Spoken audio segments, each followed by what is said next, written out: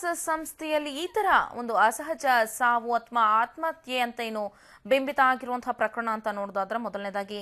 ಎರಡ್ ಸಾವಿರದ ಹದಿನೈದು ಸೆಪ್ಟೆಂಬರ್ ಏಳರಲ್ಲಿ ಆಳ್ವಾಸ್ ಕಾಲೇಜ್ ಹಾಸ್ಟೆಲ್ನಲ್ಲಿ ಹದಿನೆಂಟು ವರ್ಷದ ಬಾಲಕಿ ರಕ್ಷಿತ ಆತ್ಮಹತ್ಯೆಯನ್ನ ಮಾಡ್ಕೊಂಡಿರ್ತಾರೆ.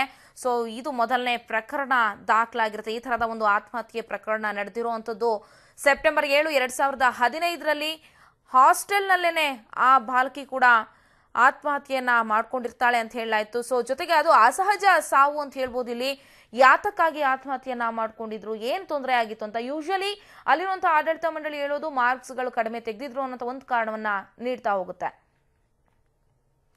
ಎಸ್, ಇನ್ನು ಬೆಂಗಳೂರು ಜಯನಗರದ ಮೂಲದ ರಕ್ಷಿತಾ ಇವರು ಬೆಂಗಳೂರಿನ ಜಯನಗರದವರಾಗಿರ್ತಾರೆ. ಅಲ್ಲಿ ಹೋಗಿ ಕಲಿತಾ ಇರ್ತಾರೆ ರಕ್ಷಿತಾ. ಹಾಸ್ಟೆಲ್, ಬಾತ್ರೂಮ್ನಲ್ಲಿ ನೇಣು ಬಿಗಿದ್ಕೊಂಡು ಆತ್ಮಹತ್ಯೆಯನ್ನ ಮಾಡ್ಕೊಂಡಿರ್ತಾಳೆ ಈ ಯುವತಿ.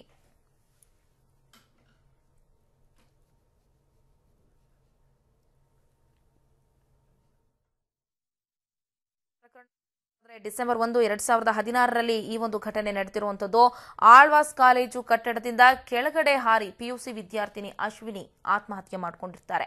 ಬಳ್ಳಾರಿ ಜಿಲ್ಲೆಯ ಕಮಲಾಪುರದ ವಿದ್ಯಾರ್ಥಿನಿ ಈಕೆ ಹದಿನೇಳು ವರ್ಷ ವಯಸ್ಸಾಗಿರುತ್ತೆ. ಕಟ್ಟಡದ ಮೇಲಿಂದ ಕೆಳಗೆ ಹಾರಿ ಪಿಯುಸಿ ವಿದ್ಯಾರ್ಥಿನಿ ಅಶ್ವಿನಿ ಆತ್ಮಹತ್ಯೆಯನ್ನ ಮಾಡಿಕೊಂಡಿದ್ರು ಎರಡು ಸಾವಿರದ ಹದಿನಾರು ಡಿಸೆಂಬರ್ ಒಂದರಲ್ಲಿ. ಮತ್ತೊಂದು ಪ್ರಕರಣ ಎರಡ್ ಸಾವಿರದ ಹನ್ನೊಂದರಲ್ಲಿ ನಡೆದಿರುವಂಥದ್ದು ಅಕ್ಟೋಬರ್ ಇಪ್ಪತ್ತನೇ ತಾರೀಕು ನಡೆದಿರುತ್ತೆ ಇದು.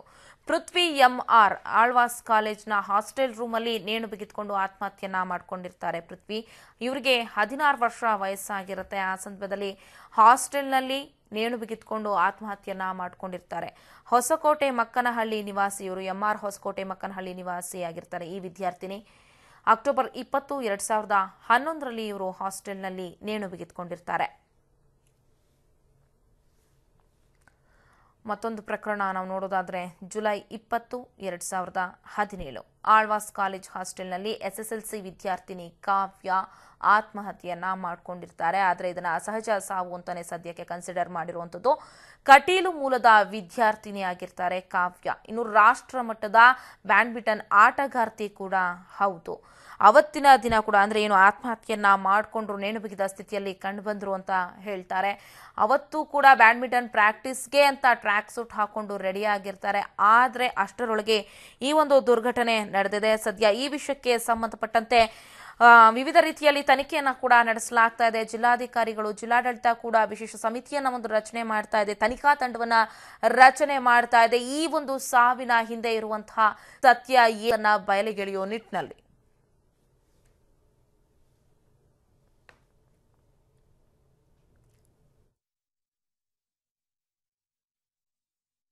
ಬಗ್ಗೆ ಮತ್ತಷ್ಟು ಮಾಹಿತಿಯನ್ನ ನೀಡಲಿಕ್ಕೆ ದೂರವಾಣಿ ಸಂಪರ್ಕದಲ್ಲಿದ್ದಾರೆ ಪ್ರತಿನಿಧಿ ಮೊಹಮ್ಮದ್ ಇರ್ಷಾದ್. ಇರ್ಷಾದ್, ಈಗಷ್ಟೇ ಉಗ್ರಪ್ಪ ಅವರು ಕೂಡ ಸುದ್ದಿ ಟಿವಿ ಜೊತೆ ಮಾತನಾಡ್ತಾ ಹೇಳಿದ್ರು. ಅವರಿಗೆ ಸಂಪೂರ್ಣವಾಗಿ ಆಗಿರುವಂತಹ ಅವ್ಯವಹಾರಗಳಾಗಿರ್ಬೋದು ಅಥವಾ ಆಳ್ವಾಸ್ನ ಸದ್ಯದ ಹಾಗು ಹೋಗುಗಳು ಯಾವ ರೀತಿ ಇದೆ ಅನ್ನೋದು ಬಹಳ ಸ್ಪಷ್ಟವಾಗಿ ತಿಳಿದು ಬಂದಿದೆ. ಜೊತೆಗೆ ಜಿಲ್ಲಾಧಿಕಾರಿ ಅವ್ರ ಗಮನಕ್ಕೂ ಕೂಡ ಅಷ್ಟೇ ಸ್ಪಷ್ಟವಾಗಿ ಮಾಹಿತಿ ತಿಳಿದಿರೋದ್ರಿಂದ ಯಾವೆಲ್ಲ ರೀತಿಯ ಇಲಾಖೆಗಳಿಂದ ತಜ್ಞರ ತಂಡವನ್ನ ರಚಿಸಬಹುದು, ಈ ಒಂದು ಸಮಿತಿ ಹೇಗೆ ಕಾರ್ಯನಿರ್ವಹಿಸಬಹುದು, ಈ ಬಗ್ಗೆ ಏನ್ ಮಾಹಿತಿ ಸಿಕ್ಕಿದೆ ಇರ್ಷಾದ್? ಜುಲೈ ಇಪ್ಪತ್ತೊಂದು ಮಂಗಳೂರಿನ ಪ್ರತಿಷ್ಠಿತ ವಿದ್ಯಾಸಂಸ್ಥೆ ಆರ್ಥಿಕ ಶಿಕ್ಷಣ ಸಂಸ್ಥೆಯಲ್ಲಿ ಒಂದು ಅಸಹಜ ಸಾವು ಸಂಭವಿಸಿತ್ತು. ಆಲ್ಫಾ ಶಿಕ್ಷಣ ಸಂಸ್ಥೆಯ ವಿದ್ಯಾರ್ಥಿನಿ ಕಾವ್ಯ ಎಂಬಾಕೆ ನಿಗೂಢವಾಗಿ ಸಾವನ್ನಪ್ಪಿದ್ಲು ಆದ್ರೆ ಈ ಒಂದು ಆತ್ಮಹತ್ಯೆ ಎಂಬುದು ಆಡಳಿತ ಮಂಡಳಿ, ಕಾಲೇಜ್ ಆಡಳಿತ ಮಂಡಳಿ ಹೊರಬಾದ ಆದ್ರೆ ಇದು ಆತ್ಮಹತ್ಯೆ ಅಲ್ಲ, ಬದಲಾಗಿ ಕೊಲೆ. ಅಥವಾ ಒಂದು ವೇಳೆ ಆತ್ಮಹತ್ಯೆ ಕಾರಣಗಳು ಏನು ಎಂಬ ಅನುಮಾನಗಳನ್ನು ಕೂಡ ಕಾವ್ಯ ಪೋಷಕರು ವ್ಯಕ್ತಪಡಿಸಿದ್ದಾರೆ. ಎಲ್ಲ ಹಿನ್ನೆಲೆಯಲ್ಲಿ ಈ ಒಂದು ವಿವಾದ ಈ ಇಶ್ಯೂ ಏನಿದೆ, ಸಾಕಷ್ಟು ವಿವಾದಕ್ಕೂ ಕೂಡ ಕಾರಣ ಆಗಿತ್ತು. ನಂತರ ಉಗ್ರಪ್ಪ ಅವರ ನೇತೃತ್ವದ ವಿ ಎಸ್ ಉಗ್ರಪ್ಪ ಅವರ ನೇತೃತ್ವದ ಒಂದು ಸಮಿತಿ ಕೂಡ, ಮಹಿಳಾ ಮತ್ತು ಮಕ್ಕಳ ಮೇಲಿನ ದೌರ್ಜನ್ಯ ತಡೆ ಸಮಿತಿ ಮಂಗಳೂರಿಗೆ ಭೇಟಿ ಕೊಟ್ಟಿತ್ತು. ಆಳ್ವಾಸ್ ಶಿಕ್ಷಣ ಸಂಸ್ಥೆಗೆ ಕೂಡ ಭೇಟಿ ಕೊಟ್ಟಿತ್ತು. ನಂತರ ಜಿಲ್ಲಾಧಿಕಾರಿಗಳ ಜೊತೆಗೆ ಒಂದು ಸಭೆಯನ್ನು ಕೂಡ ಮಾಡಲಾಗಿತ್ತು. ಹಿರಿಯ ಅಧಿಕಾರಿಗಳು, ಪೊಲೀಸ್ ಅಧಿಕಾರಿಗಳು ಕೂಡ ಈ ಒಂದು ಸಭೆಯಲ್ಲಿ ಉಪಸ್ಥಿತಿದ್ರು ಈ ಸಂದರ್ಭದಲ್ಲಿ ಕೆಲವೊಂದು ನ್ಯೂನತೆಗಳು ಆಳ್ವಾಸ್ ವಿದ್ಯಾಸಂಸ್ಥೆಯಲ್ಲಿ ಸಮಿತಿ ಭೇಟಿ ನೀಡಿದ ಸಂದರ್ಭದಲ್ಲಿ ಕಂಡು ಬಂದಂತಹ ಕೆಲವೊಂದು ನ್ಯೂನತೆಗಳ ಬಗ್ಗೆ ಒಂದು ಪಟ್ಟಿ ಮಾಡಿತ್ತು ಅದನ್ನು ಸಭೆಯ ಗಮನಕ್ಕೂ ಕೂಡ ತರಲಾಗಿತ್ತು.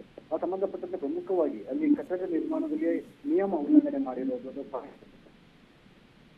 ಇರಬಹುದು ಲಿಫ್ಟ್ ವಿಚಾರ ಆಗಿರ್ಬೋದು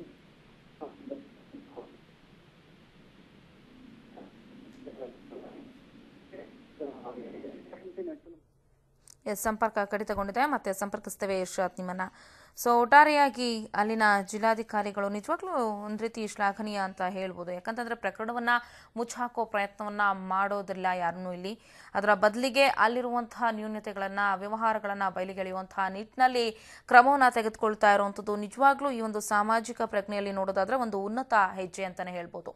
ಅದರ ಜೊತೆಯಲ್ಲಿನೇ ಕೇವಲ ಆಳ್ವಾಸ್ ಅಷ್ಟೇ ಅಲ್ಲ, ಅದೇ ಜಿಲ್ಲೆಯಲ್ಲೇ ಇನ್ನು ಇತರೆ ರೆಸಿಡೆನ್ಷಿಯಲ್ ಸ್ಕೂಲ್ ಅಥವಾ ರೆಸಿಡೆನ್ಷಿಯಲ್ ಕಾಲೇಜ್ಗಳಂತ ಏನಿವೆ ಅಲ್ಲಿಯೂ ಕೂಡ ಈ ತರಹದ್ದೇ ಒಂದಷ್ಟು ಪ್ರಕರಣಗಳು ಕಂಡು ಬಂದಿದೆ ಅಂತ ಜಿಲ್ಲಾಧಿಕಾರಿಗಳ ಗಮನಕ್ಕೂ ಕೂಡ ಈಗಾಗಲೇ ಬಂದಿದೆ. ಅದನ್ನು ಅವರು ವಿ. ಎಸ್. ಉಗ್ರಪ್ಪ ಅವ್ರಿಗೂ ಕೂಡ ಕನ್ವೆ ಮಾಡಿದ್ದಾರೆ ಜಿಲ್ಲಾಧಿಕಾರಿಗಳು. ಹಾಗಾಗಿ ಅಲ್ಲಿ ಯಾವುದೇ ರೀತಿಯಾಗಿ ಒಂದಷ್ಟು ಅಕ್ರಮವನ್ನು ನಡೆಸ್ಕೊಳ್ತಾ ಅಥವಾ ಯಾವುದೇ ಪರ್ಮಿಷನ್ಗಳನ್ನು ಪಡೆದುಕೊಳ್ಳದೆ ನ್ಯೂನ್ಯತೆಗಳನ್ನು ಇಟ್ಕೊಂಡು ಈ ಥರ ವಸತಿ ಶಾಲೆಗಳನ್ನು ನಿರ್ವಹಿಸ್ತಾ ಇರುವಂತಹ ಸಂಸ್ಥೆಗಳ ವಿರುದ್ಧವಾಗಿ ಶಿಸ್ತಿನ ಕ್ರಮವನ್ನ ತೆಗೆದುಕೊಳ್ಳುವಂತಹ ಸಾಧ್ಯತೆ ಇದೆ. ಆಳ್ವಾಸ್ ಅನ್ನು ಹೊರತುಪಡಿಸಿ ಇತರೆ ಬೇರೆ ರೀತಿಯ ಶಾಲೆ ಮತ್ತು ಕಾಲೇಜುಗಳು ಕೂಡ ಕಂಡು ಬಂದಿರೋದ್ರಿಂದ ವಿ ಎಸ್ ಉಗ್ರಪ್ಪ ಅವರು ತಿಳಿಸಿದಂತೆ ಇದನ್ನ ಸಿಎಂ ಸಿದ್ದರಾಮಯ್ಯ ಅವರಿಗೂ ಕೂಡ ಪತ್ರವನ್ನ ಬರೆದಿದ್ದಾರೆ. ಕೇವಲ ಇಲ್ಲಿ ಒಂದು ಜಿಲ್ಲೆ ಅಷ್ಟೇ ಅಂತಲ್ಲ, ರಾಜ್ಯದಾದ್ಯಂತ ಇರುವಂತಹ ರೆಸಿಡೆನ್ಷಿಯಲ್ ಸ್ಕೂಲ್ಗಳನ್ನ ಮತ್ತೊಮ್ಮೆ ಪರಿಶೀಲನೆಗೆ ಒಳಪಡಿಸಬೇಕು. ಅವರು ಯಾವ ರೀತಿ ಪರ್ಮಿಷನ್ಸ್ ಅನ್ನ ತೆಗೆದುಕೊಂಡಿದ್ದಾರೆ, ಯಾವ ಶಾಲೆ ಯಾವ ರೀತಿ ಕಾರ್ಯವನ್ನ ನಿರ್ವಹಿಸ್ತಾ ಇದೆ ಅನ್ನುವಂಥದ್ದು ಹಾಗೆ ಮುಂದೇನಾದ್ರೂ ಈ ತರಹದ ಅಸಹಜ ಸಾವು ಅನ್ನುವಂಥ ಘಟನೆಗಳೇನಾದರೂ ಮರುಕಳಿಸಿದ್ದೆ ಆದಲ್ಲಿ ಅದರ ಸಂಪೂರ್ಣ ಹೊಣೆಯನ್ನ ಆಯಾ ಶಾಲಾ ಮಂಡಳಿಯವರು, ಆಡಳಿತ ಮಂಡಳಿಯವರು ಹೊರಬೇಕಾಗತ್ತೆ ಅನ್ನುವಂಥ ಒಂದು ನಿಯಮವನ್ನು ಕೂಡ, ಹೊಸ ಕಾನೂನನ್ನ ಕೂಡ ಜಾರಿಗೆಗೊಳಿಸುವಂಥ ಚಿಂತನೆಗಳು ಕೂಡ ಈಗಾಗಲೇ ನಡೀತಾ ಇವೆ.